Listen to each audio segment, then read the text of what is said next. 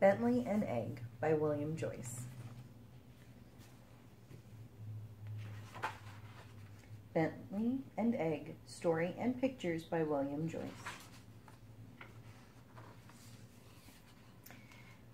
Bentley Hopperton was a young and rather musical frog who loved to draw.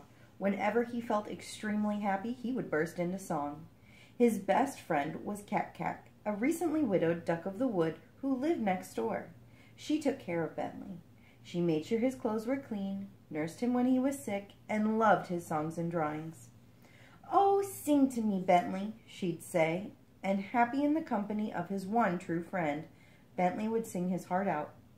But one day, Kack Kack forgot to ask Bentley to sing. And she forgot to look at his drawings. In fact, she forgot Bentley altogether. At sunset, Bentley went looking for Kack Kack and found her sitting quiet, very quietly on her nest.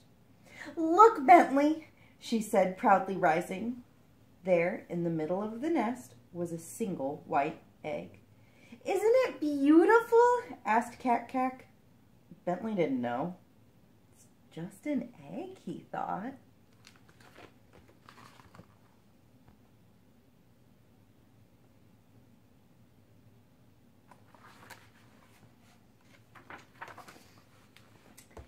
Kack Kack spent all her time sitting on her beloved egg. Bentley was lonely. I haven't a friend in the world, he said, sadly to himself. One day, Kack Kack received a message by Cricket Courier. Her sister had just hatched seven little ducklings. Oh, Bentley, I must go and see them. Would you please watch over my egg while I'm gone? Well, okay, he said. Thanks, you're such a dear, she quacked and pecked him on the cheek. Left alone with the egg, Bentley frowned. Silly old egg, he muttered. Soon, one wood creature after another scurried by the nest. We're off to see the new ducklings, they said. Won't you come with us, Bentley? But Bentley shook his head and sat glumly, guarding Kack Kack's solitary egg.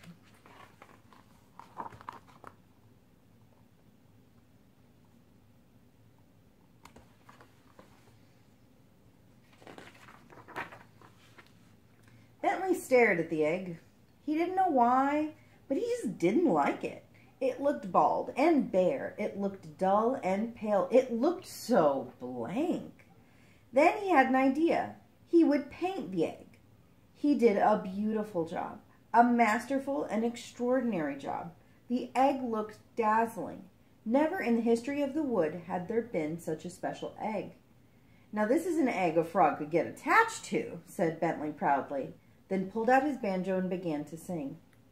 Oh, special egg, oh, roundy egg, oh, splendid, artful Bentley egg, I painted you with feelings too mysterious to say to you. Bentley felt happy beyond words.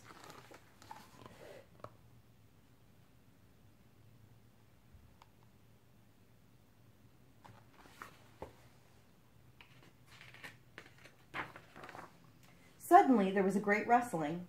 Tree limbs crackled, shouts echoed. There was a boy in the woods.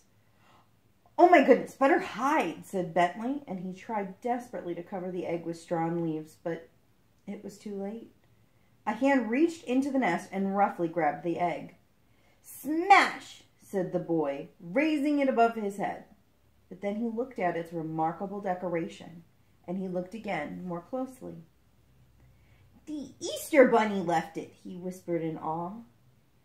Easter Bunny, my eye, thought Bentley. That's a Bentley Hopperton egg. The boy cradled the egg carefully in his hands and ran away. Bentley was beside himself. Egg napped, he cried. I'll save you, Egg. Don't worry. Egg, armed only with my wits, I'll not fail you, Egg, he vowed bravely and took off in pursuit.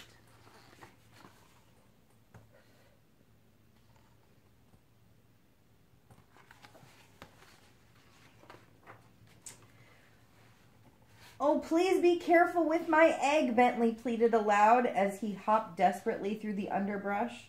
But Bentley could not keep up. As he came out of the wood and into the vegetable garden, he found to his horror that the boy was nowhere in sight. Oh, heavens, I'm lost, he moaned. Me too, sighed a stuffed elephant standing next to a row of cabbages. I've been out here a week. I think they forgot me. I hope it doesn't rain. Oh dear, so do I, said Bentley with genuine concern. Did a boy carrying an extraordinary egg pass by here? Yep, said the elephant. He turned left at the cucumber squash. He never even noticed me. Thanks so much, said Bentley as he dashed away. Don't worry, I'll try to send you help. Appreciate it, said the elephant.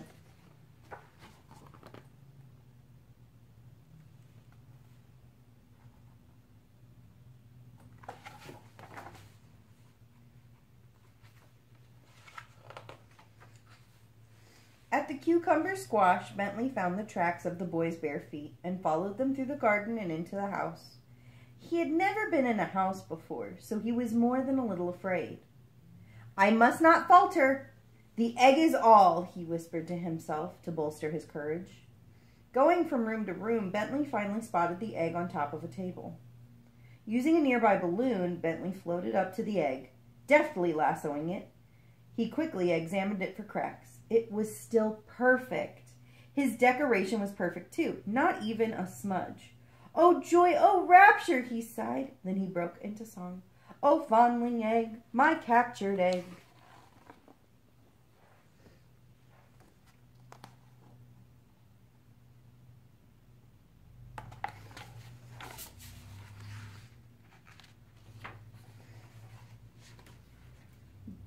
There's really no time for a serenade, you know, interrupted the watery voice of a nearby goldfish. He'll be back any second. You're right, said Bentley, embarrassed. I just get carried away sometimes. Don't we all, sighed the goldfish. Then, using all his might, Bentley loaded the egg into the basket of the balloon, but before he went aloft, he scribbled a message for the boy. The egg is mine. It needs me. Your elephant is in the garden. It needs you. Bentley Hopperton. You won't tell him which way I went we went, will you? Bentley asked the goldfish. Cross my gills and hope to drown. Thanks, said Bentley, and he and the egg floated toward the window.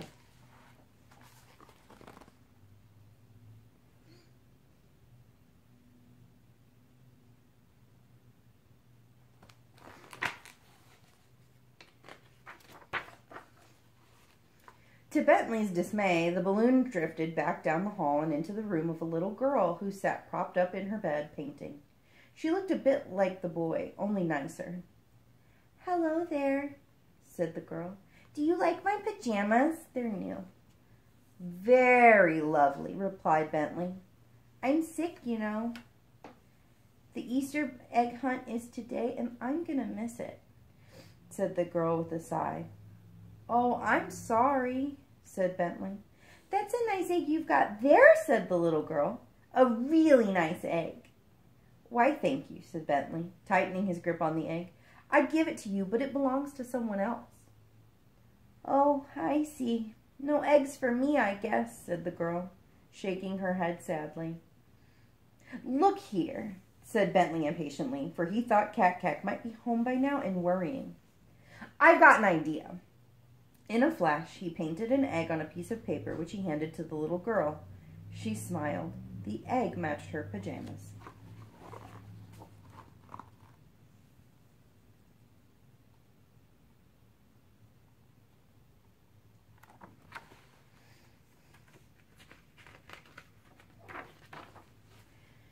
Bentley hopped back into the balloon, and the little girl, smiling sweetly, gave it a gentle shove. Thanks, Bentley called as they sailed out the window. The breeze was steady, the balloon flew straight and true. Never had a frog or egg soared so high.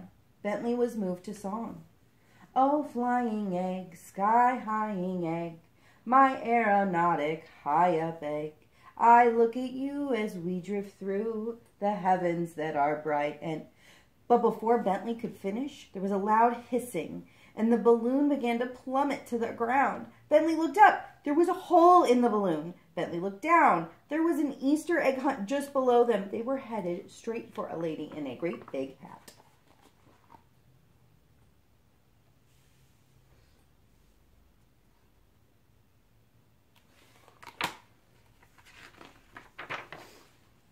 Bentley shut his eyes and clutched the egg for dear life. The balloon smacked into the woman's head, and Bentley and the egg spilled out onto her hat. Daphne, Daphne, there's a frog on your hat, someone screamed. Bentley grabbed the egg and, trying to look nonchalant, hopped to another woman's hat. The lady next to her began to scream. Everybody began to scream. Food began to fly. There was pandemonium.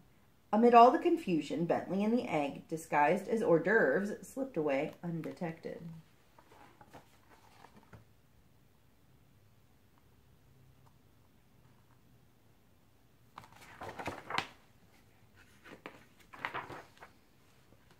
Leaving the party in ruins, Bentley spotted a toy boat moored to the bank of a pond. I'm sure no one would mind if we borrowed this for a bit, he said, panting. Wearily, he loaded the egg on board and cast off. Something of a sea dog, aren't I? said Bentley to the egg, and with a flourish he took the ship's wheel and steered a course across the pond. The egg sat amidships, shimmering in the afternoon sun. It looked beautiful. Once again Bentley was moved to song. Oh, sailing egg, mast maining egg, our travels have been whirligig. I sail us to your mother who sits at home and yearns for. But once again, events would not let him finish, for straight ahead, waiting toward them, was the boy. I want that my egg back, he demanded, and threw a rock which smashed against the ship's bow. I have not yet begun to fight, Bentley proclaimed and fired the ship's cannons.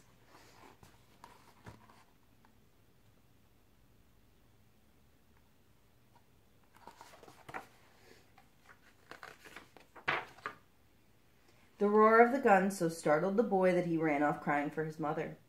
Smart bit of sailoring, if I say so myself, Bentley said to the egg with some pride. Then he noticed the ship was sinking. Ah! cried Bentley, exasperated. There was no time to lose. He cut away a line of the ship's rigging, tying one end to his waist and the other around the egg. He swam desperately to shore. The egg was very heavy and almost pulled him under several times. He was soon tired, but paddled valiantly on. Finally, with his last remaining ounce of strength, Bentley plopped the egg upon the shore and whispered hoarsely, Silly old egg, safe at last. Then he laid down his head and fell into a deep, exhausted sleep. Bentley hadn't noticed, but the egg had been washed clean. All his beautiful decorations were gone, but even if he had noticed, he would no longer have cared, for now he loved the egg just the way it was.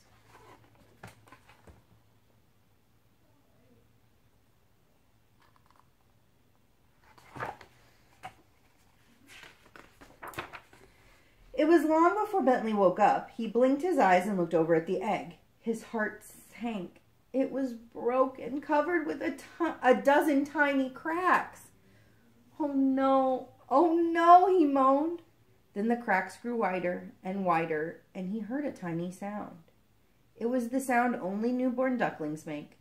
The shell began to crumble, and out wobbled the most beautiful baby duck Bentley had ever seen. Then he saw that Kack Kack was there. It's a boy! A baby boy! she cried, and gently smoothed Duckling's downy feathers. Suddenly there was a great hue and cry. Hooray for Bentley! Long live Bentley! Startled, Bentley looked around. It seemed every creature in the wood was there. Bugs, birds, squirrels. I think I'll name him Ben after you, said Kack Kack, helping Bentley to his feet. It's the least I can do with all you've done. All I've done? How did you find out?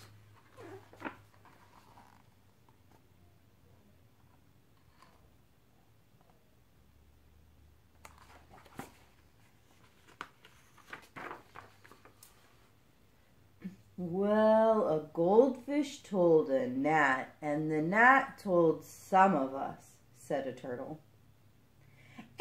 Girl told a butterfly, and the butterfly told most of us, said a wren.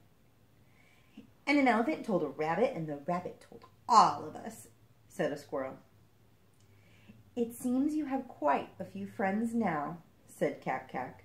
I'm so proud of you, Bentley. Bentley blushed and smiled modestly. The next afternoon, when everything was quiet again, Kack Kack said, Oh, sing to us, Bentley. And Bentley, happy in the company of his two best friends, sang his heart out. Oh, happy you, oh, happy me, the three of us will always be the best of friends through thick and thin, Bentley, Kack, and little Ben. And they were all, each one, happy beyond words.